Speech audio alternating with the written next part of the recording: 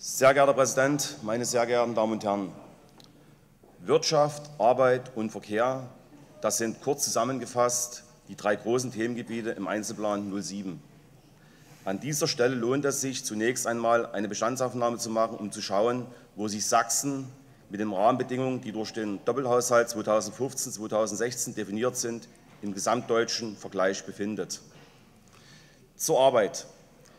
Sachsen hat Stand November 2016 eine Arbeitslosenquote von 6,8 Prozent. Das heißt im Bundesvergleich Platz 10 von 16. Im Freistaat beträgt, beträgt der Durchschnittslohn rund 3.100 Euro brutto. Das heißt im Bundesvergleich Platz 13 von 16.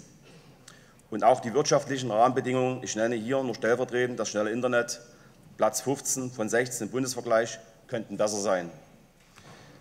Zur Verkehrsinfrastruktur komme ich gleich. Eines ist jedoch ersichtlich. Von einem Spitzenplatz in Deutschland sind wir so weit entfernt wie der HSV von der deutschen Meisterschaft. Meine Damen und Herren, in diesem Jahr stand der Bundesverkehrswegeplan ganz aktuell zur Debatte und auf mehreren Tagesordnungen im Landtag.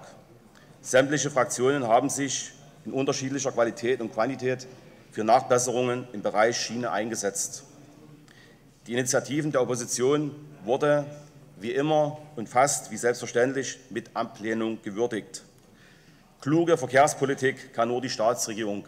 Das war die Botschaft.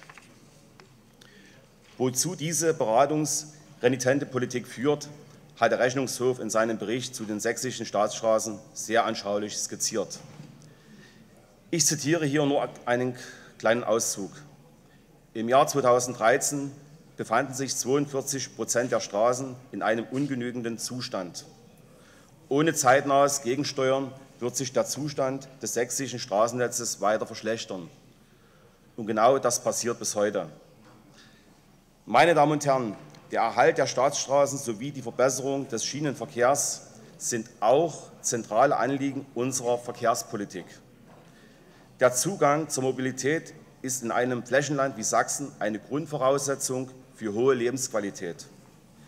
Die AfD-Fraktion begrüßt daher den endlich anvisierten Kurswechsel der Staatsregierung im Bereich der Staatsstraßen und untersetzt diesen Wechsel noch einmal mit zusätzlichen Millionen Euro. Ein zweites großes Thema ist der oft zitierte Fachkräftemangel. Meine Damen und Herren, wir wollen hier genau argumentieren und nicht den Fachkräftemangel mit einem Arbeitskräftemangel gleichsetzen.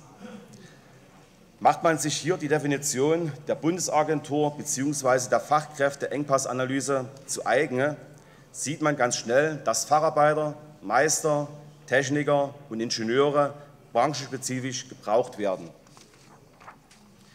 Hier setzen auch die Haushaltsvorschläge der AfD zum Einzelplan 07 mit der Erhöhung des Meisterbonus, der Einführung eines Technikerbonus oder der Förderung von Fort- und Weiterbildungszentren im Bereich des Handwerks an.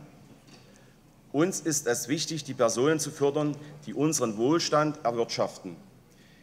Diese werden uns die Förderung über höhere Löhne und den damit verbundenen Sozialabgaben und Steuern an verschiedenen Stellen wieder zurückzahlen, sodass letztlich alle da, sodass letztlich alle etwas davon haben. Anders als bei den Investitionen, die nur Mitnahmeeffekte auslösen. Herr Dulig, ich habe mir Ihre Rede vom 29. April 2015 noch einmal durchgelesen. Nur eines. Mit 8,50 Euro kann man weder Fachkräfte gewinnen, noch kann man sie damit halten. Die Absicherung nach unten, wie Sie es nannten, über den Mindestlohn funktioniert hier nicht. Und überhaupt, was wurde uns in der Debatte um den Mindestlohn alles an sozialer Kälte vorgeworfen? nur weil wir es gewagt hatten, Vor- und Nachteile abzuwägen. Wohlgemerkt, ohne dabei zu dem Schluss zu kommen, möchten Sie reden? Kommen Sie vor. Also lassen Sie mich ausreden. Wohlgemerkt, ohne dabei zu dem Schluss zu kommen, dass der Mindestlohn abzuschaffen sei. Bei einem Blick ins Mindestlohngesetz ist jedoch leicht zu erkennen, wem das Prädikat der sozialen Kälte zu verleihen ist, nämlich dessen Urhebern. Oder warum wird gerade Kinderarbeit vom Mindestlohn befreit? Jugendarbeit, Entschuldigung. Oder warum wird gerade Jugendarbeit vom Mindestlohn befreit? Ja, die Gesetzesbegründung kenne ich. Denn Jugendlichen soll der Anreiz genommen werden, sich für 8,50 Euro anstatt für eine Lehrstelle zu entscheiden. Das ist keine Heuchelei. Hören Sie, hören Sie richtig zu. Hören Sie richtig zu. Wenn Sie was zu sagen haben, kommen Sie hier vorne und tun Sie mich nicht Keine das machen Sie schon zwei Dialoge. Jahre. Das machen Sie schon zwei Jahre. Also, Herr Beger, Sie können Herr sich gerne hier vorne hinstellen, wenn Sie, was, wenn Sie eine Frage haben. fahren Sie fort in Ihrer Rede. Aber dabei wird völlig verkannt, dass nicht jeder Jugendliche eine Lehrstelle findet. Entscheidet sich dieser nun für die Aufnahme einer Arbeit, wird er dafür sogar noch mit Niedrigstlöhnen bestraft. Das nenne ich soziale Kälte. Meine Damen und Herren, an dieser Stelle ein kleiner Exkurs. Ja, wir haben unser Haushalt gedeckt und ja, wir haben hier auch Einsparungen vorgeschlagen. Oftmals laufen diese allerdings nicht auf Kürzungen, sondern auf weniger starke Erhöhungen hinaus.